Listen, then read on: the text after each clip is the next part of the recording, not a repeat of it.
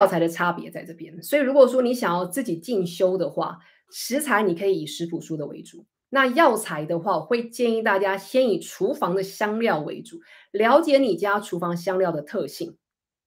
为主，这样子你就比较好用。而且我们说，呃，一般来说，我会比较不建议大家就是太直接的跳到用药材。为什么？因为所有可以，不管是药材还是能量疗法，所有可以很快速的减缓或者是治好你的病。或者减缓你的症状的药物，它都很有可能在你用错的方式之下，很即刻的对你造成伤害。我再讲一次，越激烈的东西，它的疗效可能越快，可是相同样的，它对你造成的伤害可能也更大。越温和的东西，它疗效没那么快，可是它对你造成的伤害也会比较小。懂我的意思哈，所以很多人会说，像我们教授常会说，你只是杀鸡，干嘛要用牛刀呢？这个东西你用孜然，你同样是胀气，你用阿魏粉就可以解决的，为什么要用到其他的药材？OK，其他的药材对身体来说可能会是个负担，可是阿魏粉你把它当食材用，你长期用，就算你想要长期用，它也不会对你造成太大的负担。OK，而且现代人有一个很好很有趣的观念啊，就是。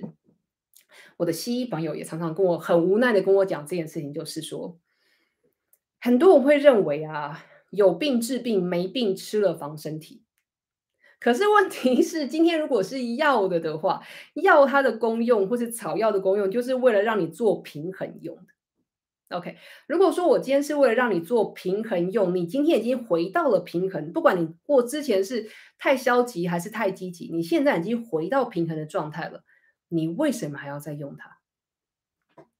？OK，这个是大家要想的问题哦。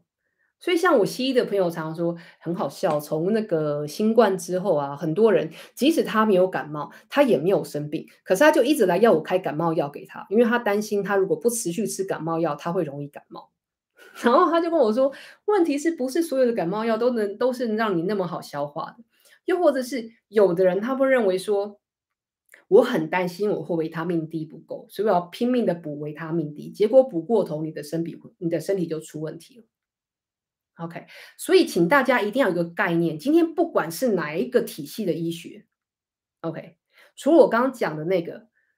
越温和的，就是你要长期使用东西，必须要是比较温和的之外，再来就是不是所有东西就是有吃就会有效。在阿育吠陀的观点当中，你不是你吃的东西；在阿育吠陀的观点当中，你是你能够消化的东西。所以，如果你今天没有消办法消化你吃下去的益生菌的话，你吃下去的益生菌会变成毒药，留在你的身体里面。你今天如果有办法消化的话，即使是蛇毒，你喝了你它都会变成你的养分。这是一个阿育吠陀跟其他种类营养学。不同的观点，我们会认为你能够消化跟代谢最重要，而消化不是指说我今天有食欲。消化在阿育吠陀来说，完整的消化包含了消化、吸收、代谢跟排泄。所以很多人都认为说啊，我没有食欲，所以我要进行排毒，或者说我今天食欲很好，就代表我的阿格尼很好，我可以随便乱吃，不是。你很有可能很有食欲，吃得下去，可是下面已经塞住，出不来。在阿育吠陀来说，我们说这样子消化不好的。OK，所以这个概念要有。所以，与其去学很多的药材，我会希望大家去了解你手边的食材。与其去很钻研于你手边的食材，像我就有一个学生，他很有趣的是，他就一直跟我说，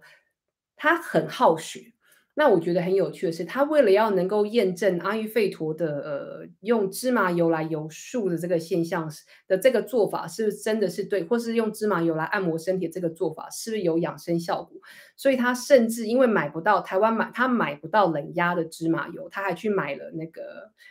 榨油机在家里面自己做冷压芝麻油。OK，台湾买得到。OK，我先跟大家说，你买得到冷压芝芝麻油要有管道。那我现在要说的是说。与其让自己走向这么极端，我会宁愿你先保持一个大原则，就是不管你今天要做什么事情，只要这件事情会让你产生压力，请你就先不要去做它。因为在阿育吠陀的观点，压力会增加你的瓦塔能量，所谓的风元素跟空间元素。当你的瓦塔能量增加，它的不定性会影响到你身体里面所有的机能都会产生不定性。当你的消化系统产生了不定性之后，那么你就会有可能一下子很饿，一下子不太饿，吃下去的东西一下子可以消化吸收，一下子又不能。OK，所以记得食疗还有所有疗法，它如果会对你造成压力的话，请你缓一缓。OK，然后再来就是，如果你要长期使用的东西的话。首先，当然，所有我们今天讲的东西，不管是上一段还是这一段讲的东西，如果你有任何的疑惑的话，请你要一定要先咨询你的西医，OK？因为在台湾或是在华人，在全球除了印度跟斯里兰卡之外，西医是主流，OK？所以，请你先去咨询你的西医，然后再决定要不要这么做，即使它是某一种食物的调整，OK？所以，如果你今天是要长期想要长期用一个东西来保养自己的话，请先以食物的方式来取用它，而不是以药材的方式来取用它。OK，那我这边说的食物的方式来取用它，就是比方说，你不要吃姜黄定，呃，即使是用药材，我们也我们也不建议你吃姜黄定，因为姜黄定，那我不想得罪太多人，可是，在阿育吠陀观点来说，它不是一个我们会建议大家吃的东西。好，那。与其吃姜黄定，你不如在你的每一餐当中加几撮的姜黄粉，它的养生效用会比较高。OK，因为姜黄定的那个量，你一般在饮食当中不太可能吃到那个量。那因为你不大可能吃到那个量，所以就算你的身体是不适合吃姜黄定，可是你吃了姜黄粉入菜，你不会受到伤害。OK。